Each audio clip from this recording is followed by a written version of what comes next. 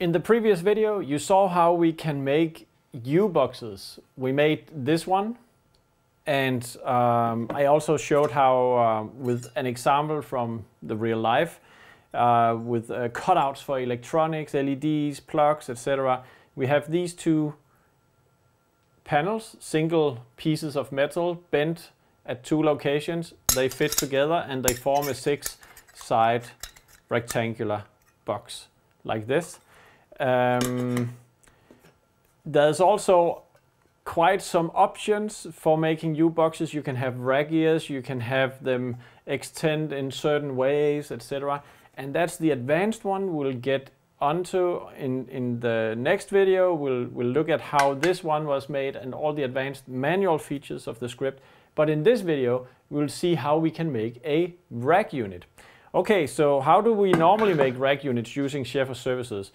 Previously in this series of videos, we have seen, just a sec, a example of making a rack unit using side profiles or side sections. You can also use housing profiles to get any height of the rack unit as you want.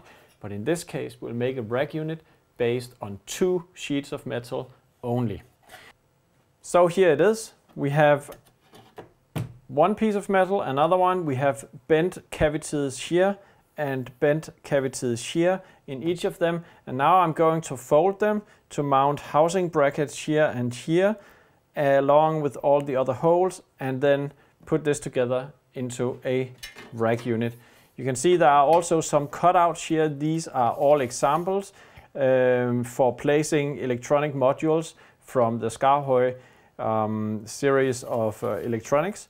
Um, so uh, we could finally populate this and uh, make it into a real um, device.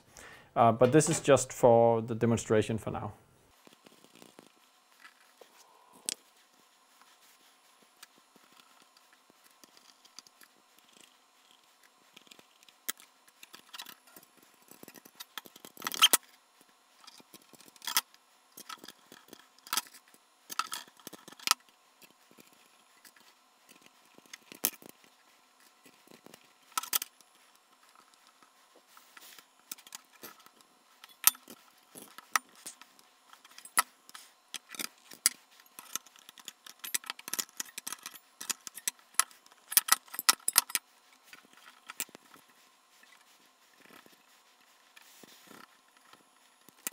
Okay, so what you have seen me do on this video so far uh, is that I bent the two panels and I mounted the housing brackets. Um, actually, I forgot about these three housing brackets before I started, so I had to mount them after the fact. And as you can see, I was kind of, yeah, I don't know if I would say this is being in trouble, but I had to bend the back side of the panel back again, uh, while I had bent it all the way up. I had to bend it back in order to, to actually get to the nuts and get those mounted.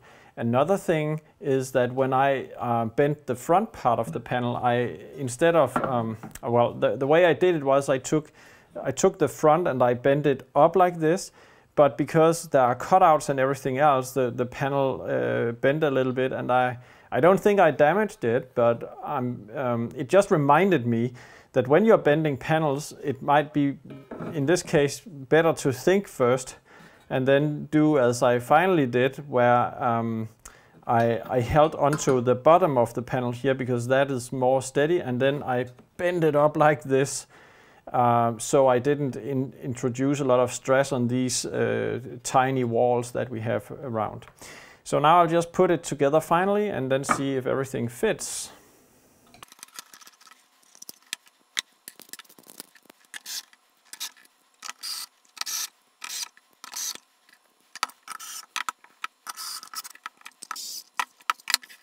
And there you go.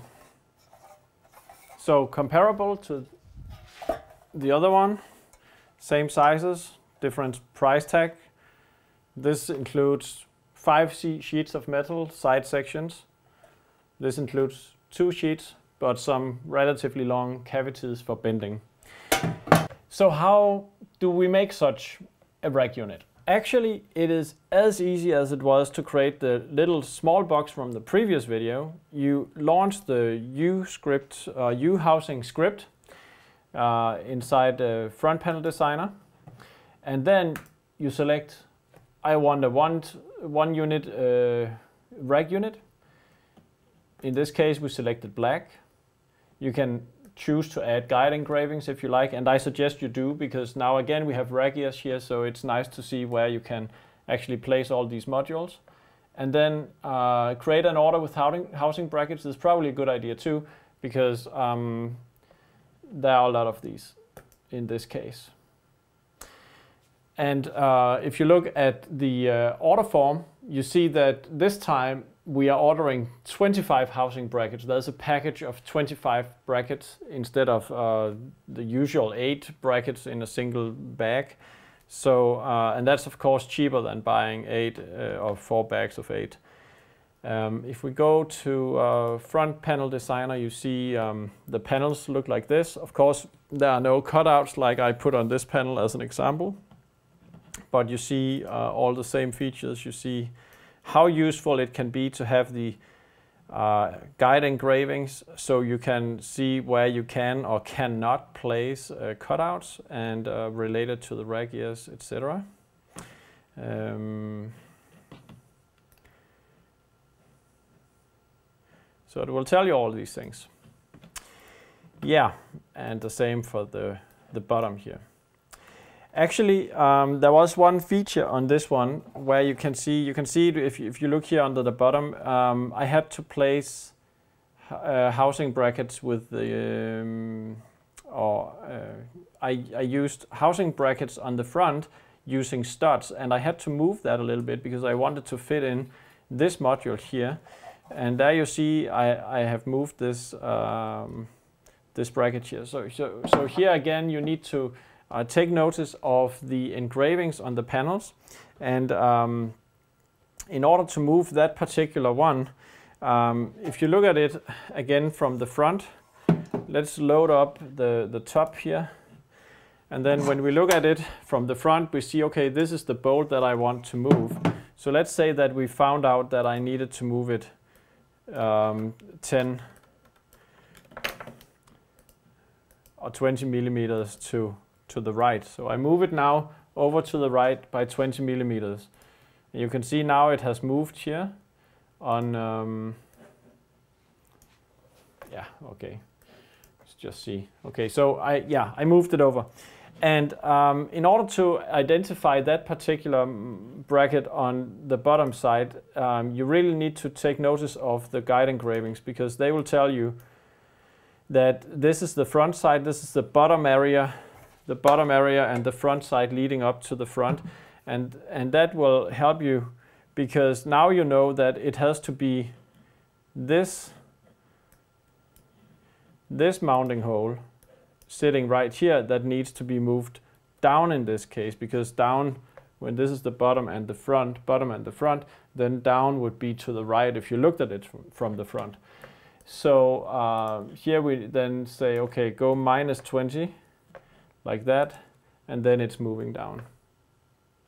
Okay, so that's basically what it is, um, or what was involved in uh, creating this rack unit using um, the U housing script as an alternative to using housing profiles.